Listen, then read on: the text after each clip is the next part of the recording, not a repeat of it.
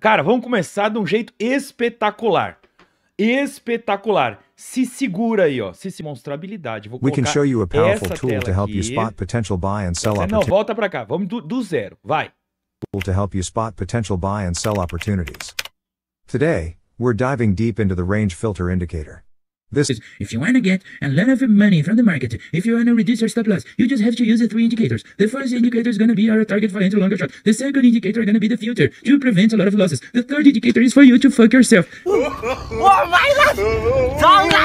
Sensacional a nossa obra de arte do nosso brother o Davi, do David, nosso brother David aí.